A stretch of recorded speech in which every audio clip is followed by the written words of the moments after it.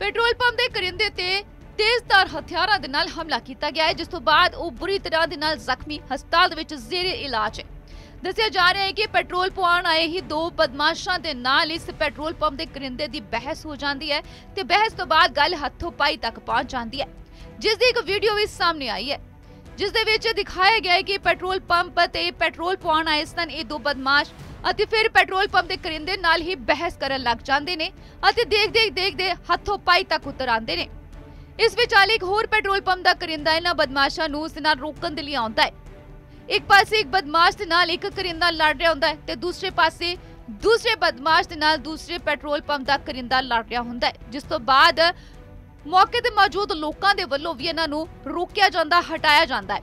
ਇਸ ਤੋਂ ਬਾਅਦ ਇਹ ਲੜਾਈ ਵਾਲੀ ਗੱਲ ਖਤਮ ਹੋ ਜਾਂਦੀ ਹੈ, ਪਰ ਜਿਵੇਂ ਹੀ ਇਹ ਪੈਟਰੋਲ ਪੰਪ ਦਾ ਕਰਿੰਦਾ ਰੋਟੀ ਲੈਣ ਦੇ ਲਈ ਘਰ ਜਾਂਦਾ ਆ, ਤਾਂ ਇੰਨਾ ਹੀ ਬਦਮਾਸ਼ਾਂ ਦੇ ਵੱਲੋਂ ਉਸ ਨੂੰ ਘੇਰ ਕੇ ਤੇਜ਼ਧਾਰ ਹਥਿਆਰਾਂ ਦੇ ਨਾਲ ਹਮਲਾ ਕਰ ਦਿੱਤਾ ਜਾਂਦਾ ਹੈ ਉਸ ਨੂੰ ਬੁਰੀ ਤਰ੍ਹਾਂ ਜ਼ਖਮੀ ਕਰ ਦਿੱਤਾ ਜਾਂਦਾ ਹੈ। ਇਨਾ ਹੀ ਨਹੀਂ, ਇਸ ਕਰਿੰਦੇ ਦੇ ਕੋਲ ਜੋ ਪੈਟਰੋਲ ਪੰਪ ਦੀ ਨਕਦੀ ਪਈ ਸੀ, ਉਹ ਵੀ ਖੋ ਕੇ ਫਰਾਰ ਹੋ ਜਾਂਦੇ ਨੇ।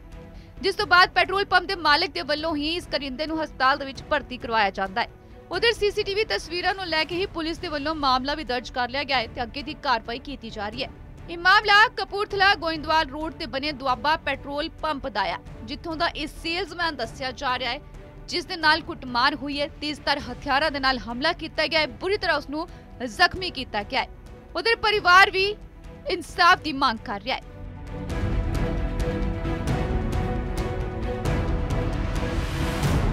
ਇਹ ਕੀ ਇੰਸ- ਅਹ ਹਾਦਸਾ ਹੋਇਆ ਤੁਹਾਡੇ ਨਾਲ? ਤੇ ਸਾਡੇ ਪੰਪ ਤੇ ਪਹਿਲਾਂ 8:30 ਵਜੇ ਆਏ। ਉਦੋਂ ਤੇਲ ਪਵਾਇਆ ਇਹਨਾਂ ਨੇ। ਤੇਲ ਪਵਾ ਕੇ ਬੈਸ ਬਸਈਆ ਹੋ ਗਿਆ ਇਹਨਾਂ ਦਾ। ਕਿੰਨਾ ਨਾ? ਮੁੰਡੇ ਦਾ ਜਿਹੜਾ ਮੱਸੂ ਸੀਗਾ ਤੇ ਇੱਕ ਮੱਸੂ ਦਾ ਮਸੂਲੇ ਮਸੂਲੇ ਮਤਲਬ ਭਾਂਜਾ ਹੀ ਭਾਂਜਾ ਕੋਈ ਡਰਾਈਵਰ ਹੈਗਾ ਪਿੱਟੂ ਲੋਰੀ ਇਹਦਾ ਉਹਦੇ ਡਰਾਈਵਰ ਹੈ। ਅੱਛਾ ਜੀ। ਤੇ ਉਸ ਤੋਂ ਬਾਅਦ ਫਿਰ ਰਾਤ ਨੂੰ ਆ ਗਏ ਫਿਰ ਉਹ ਦੁਬਾਰਾ। ਤੇ ਮੁੰਡਾ ਪੰਪ ਦੇ ਸਾਹਮਣੇ ਸੀਗਾ। ਤੇ ਉੱਥੇ ਨਾਲ ਸਾਡੇ ਦੋ ਮੁੰਡੇ ਸੀ ਇੱਕ ਮੈਨੇਜਰ ਸੀਗਾ ਤੇ ਦੂਸਰਾ ਮੁੰਡਾ ਸਾਡਾ ਸੇਲਮੈਨ ਸੀਗਾ ਨਾਲ।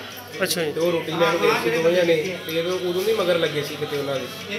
ਤੇ ਉਹਦੇ ਨਾਲ ਪਹਿਲਾਂ ਫੜ ਕੇ ਉਹਦੀ ਜੇਬ 'ਚ ਜਿੰਨੇ ਪੈਸੇ ਸੀ ਉਹ ਵੀ ਖੋਲੇ ਉਹਨਾਂ ਨੇ ਤੇ ਉਸ ਤੋਂ ਬਾਅਦ ਉਹ ਸਿਰ 'ਚ ਦਾਤ ਮਾਰਿਆ ਉਹਦੇ ਤੇ ਹੁਣ ਵਿਚਾਰੇ ਦਾ ਹਸਪੀਟਲ ਲੈ ਕੇ ਆਏ ਉਹਨੂੰ ਫਸਟ ਏਡ ਦਿੰਦੇ ਫਿਰ ਹੁਣ ਬਾਅਦ 'ਚ ਐਮ ਆਰ ਆਈ ਕਰਾਵਾਂਗੇ ਜੇ ਪਤਾ ਲੱਗੂ ਕੀ ਕਿੰਨੀ ਸੱਟ ਲੱਗੀ ਹੈ। ਪੈਟਰੋਲ ਪੰਪ ਦੇ ਕਰਿੰਦੇ ਤੇ ਤੇਜ਼ਧਾਰ ਹਥਿਆਰਾਂ ਦੇ ਨਾਲ ਹਮਲਾ ਕੀਤਾ ਗਿਆ ਹੈ, ਜਿਸ ਤੋਂ ਬਾਅਦ ਉਹ ਬੁਰੀ ਤਰ੍ਹਾਂ ਦੇ ਨਾਲ ਜ਼ਖਮੀ ਹਸਪਤਾਲ ਦੇ ਵਿੱਚ ਜ਼ੇਰੇ ਇਲਾਜ ਹੈ। ਦੱਸਿਆ ਜਾ ਰਿਹਾ ਹੈ ਕਿ ਪੈਟਰੋਲ ਪਵਾਉਣ ਆਏ ਹੀ ਦੋ ਬਦਮਾਸ਼ਾਂ ਦੇ ਨਾਲ ਇਸ ਪੈਟਰੋਲ ਪੰਪ ਦੇ ਕਰਿੰਦੇ ਦੀ ਬਹਿਸ ਹੋ ਜਾਂਦੀ ਹੈ ਤੇ ਬਹਿਸ ਤੋਂ ਬਾਅਦ ਗੱਲ ਹੱਥੋਂ ਪਾਈ ਤੱਕ ਪਹੁੰਚ ਜਾਂਦੀ ਹੈ, ਜਿਸ ਦੀ ਇੱਕ ਵੀਡੀਓ ਵੀ ਸਾਹਮਣੇ ਆਈ ਹੈ। ਜਿਸ ਦੇ ਵਿੱਚ ਦਿਖਾਇਆ ਗਿਆ ਹੈ ਕਿ ਪੈਟਰੋਲ ਪੰਪ ਤੇ ਪੈਟਰੋਲ ਪਵਾਉਣ ਆਏ ਸਨ, ਇਹ ਦੋ ਬਦਮਾਸ਼ ਅਤੇ ਫਿਰ ਪੈਟਰੋਲ ਪੰਪ ਦੇ ਕਰਿੰਦੇ ਨਾਲ ਹੀ ਬਹਿਸ ਕਰਨ ਲੱਗ ਜਾਂਦੇ ਨੇ ਅਤੇ ਦੇਖ ਦੇਖ ਦੇਖਦੇ ਹੱਥੋਂ ਪਾਈ ਤੱਕ ਉਤਰ ਆਉਂਦੇ ਨੇ। ਇਸ ਵਿਚਾਲੇ ਇੱਕ ਹੋਰ ਪੈਟਰੋਲ ਪੰਪ ਦਾ ਕਰਿੰਦਾ ਇਹਨਾਂ ਬਦਮਾਸ਼ਾਂ ਨੂੰ ਉਸ ਨਾਲ ਰੋਕਣ ਦੇ ਲਈ ਆਉਂਦਾ ਹੈ।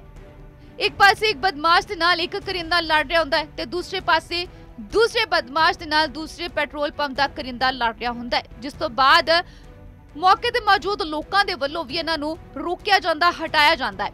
ਇਸ ਤੋਂ ਬਾਅਦ ਇਹ ਲੜਾਈ ਵਾਲੀ ਗੱਲ ਖਤਮ ਹੋ ਜਾਂਦੀ ਹੈ, ਪਰ ਜਿਵੇਂ ਹੀ ਇਹ ਪੈਟਰੋਲ ਪੰਪ ਦਾ ਕਰਿੰਦਾ ਰੋਟੀ ਲੈਣ ਦੇ ਲਈ ਘਰ ਜਾਂਦਾ ਆ, ਤਾਂ ਇੰਨਾ ਹੀ ਬਦਮਾਸ਼ਾਂ ਦੇ ਵੱਲੋਂ ਉਸ ਨੂੰ ਘੇਰ ਕੇ ਤੇਜ਼ਧਾਰ ਹਥਿਆਰਾਂ ਦੇ ਨਾਲ ਹਮਲਾ ਕਰ ਦਿੱਤਾ ਜਾਂਦਾ ਹੈ ਉਸ ਨੂੰ ਬੁਰੀ ਤਰ੍ਹਾਂ ਜ਼ਖਮੀ ਕਰ ਦਿੱਤਾ ਜਾਂਦਾ ਹੈ। ਇਨਾ ਹੀ ਨਹੀਂ, ਇਸ ਕਰਿੰਦੇ ਦੇ ਕੋਲ ਜੋ ਪੈਟਰੋਲ ਪੰਪ ਦੀ ਨਕਦੀ ਪਈ ਸੀ, ਉਹ ਵੀ ਖੋ ਕੇ ਫਰਾਰ ਹੋ ਜਾਂਦੇ ਨੇ। ਜਿਸ ਤੋਂ ਬਾਅਦ ਪੈਟਰੋਲ ਪੰਪ ਦੇ ਮਾਲਕ ਦੇ ਵੱਲੋਂ ਹੀ ਇਸ ਕਰਿੰਦੇ ਨੂੰ ਹਸਪਤਾਲ ਦੇ ਵਿੱਚ ਭਰਤੀ ਕਰਵਾਇਆ ਜਾਂਦਾ ਹੈ। ਉਧਰ ਸੀਸੀਟੀਵੀ ਤਸਵੀਰਾਂ ਨੂੰ ਲੈ ਕੇ ਹੀ ਪੁਲਿਸ ਦੇ ਵੱਲੋਂ ਮਾਮਲਾ ਵੀ ਦਰਜ ਕਰ ਲਿਆ ਗਿਆ ਹੈ ਤੇ ਅੱਗੇ ਦੀ ਕਾਰਵਾਈ ਕੀਤੀ ਜਾ ਰਹੀ ਹੈ। ਇਹ ਮਾਮਲਾ ਕਪੂਰਥਲਾ ਗੋਇੰਦਵਾਲ ਰੋਡ ਤੇ ਬਣੇ ਦੁਆਬਾ ਪੈਟਰੋਲ ਪੰਪ ਦਾ ਆ ਜਿੱਥੋਂ ਦਾ ਇਹ ਸੇਲਜ਼ਮੈਨ ਦੱਸਿਆ ਜਾ ਰਿਹਾ ਹੈ। ਜਿਸ ਦੇ ਨਾਲ ਕੁੱਟਮਾਰ ਹੋਈ ਹੈ ਤੇਜ਼ਧਾਰ ਹਥਿਆਰਾਂ ਦੇ ਨਾਲ ਹਮਲਾ ਕੀਤਾ ਗਿਆ ਹੈ ਬੁਰੀ ਤਰ੍ਹਾਂ ਉਸ ਨੂੰ ਜ਼ਖਮੀ ਕੀਤਾ ਗਿਆ ਹੈ। ਉਧਰ ਪਰਿਵਾਰ ਵੀ ਇਨਸਾਫ ਦੀ ਮੰਗ ਕਰ ਰਿਹਾ ਹੈ।